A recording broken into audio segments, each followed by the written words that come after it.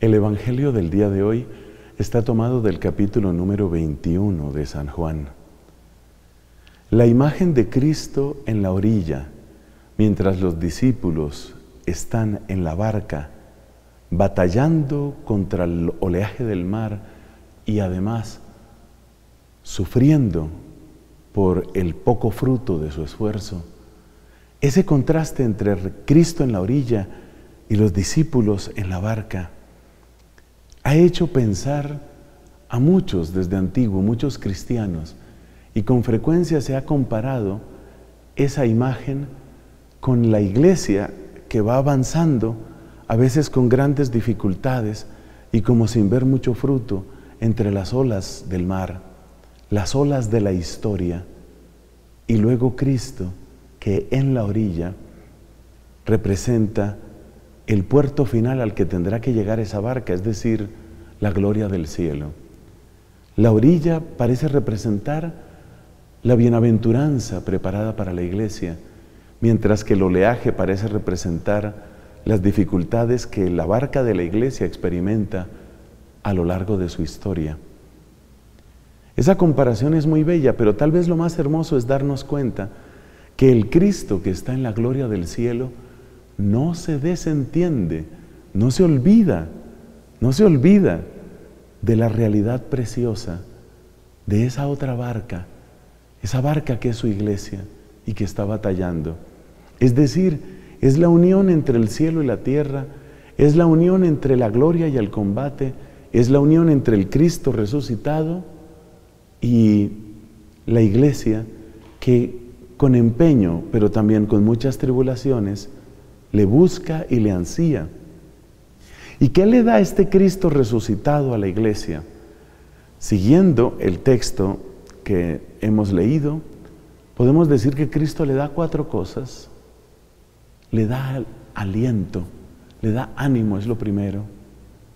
La presencia de Cristo, esa presencia que indica compañía, que indica esperanza, que indica acogida, es ánimo para la iglesia.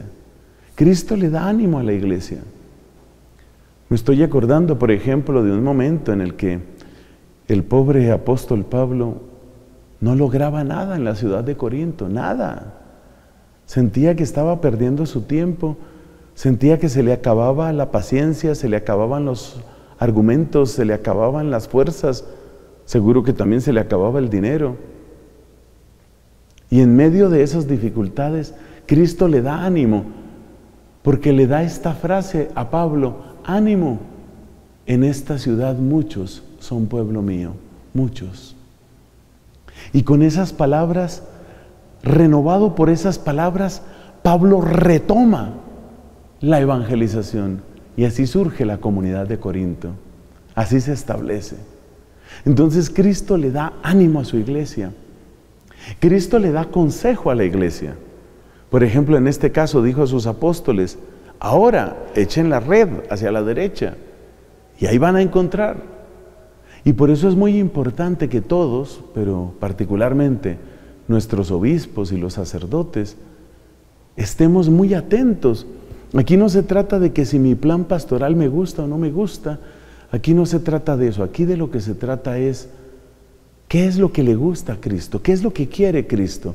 ¿Por dónde quiere llevarnos Cristo? ¿Cuál es el camino? ¿Cuál es el camino que Cristo marca? Y por eso hay que, hay que afinar el oído. ¿Qué es lo que Cristo quiere para su pueblo ahora? Bueno, Cristo entonces da ánimo, Cristo da consejo, Cristo da alimento. Esta iglesia extenuada que llega a los pies de Cristo, esa iglesia que recibe el alimento que Él ha preparado. En medio de la sencillez, en medio de la sobriedad de ese pescado sobre las brasas, podemos reconocer el banquete celestial. Cristo alimenta a la iglesia. Es interesante que sea pescado lo que les da Cristo en la orilla, porque pescado también fue lo que ellos encontraron en medio de su combate con las olas. ¿Y por qué lo destaco? Porque de alguna manera indica que el alimento del final es también el alimento del camino. Y esto se cumple efectivamente. El mismo Cristo que nos alimenta con la Eucaristía mientras vamos de camino, es el Cristo que nos alimenta con su propio ser en la gloria del cielo. No es distinto el Cristo del cielo que el Cristo que está sobre el altar o que el Cristo que está sobre el sagrario. Es el mismo alimento. Entonces Cristo da ánimo, da alimento, da consejo y Cristo da fuego. Cristo sabe encender el fuego. En medio de una noche difícil, en medio de un amanecer glorioso, es Cristo el que da el fuego, especialmente el fuego del Espíritu Santo. Así que como iglesia peregrina, levantemos la mirada, busquemos a Cristo y en Él encontraremos ánimo, consejo, alimento y fuego.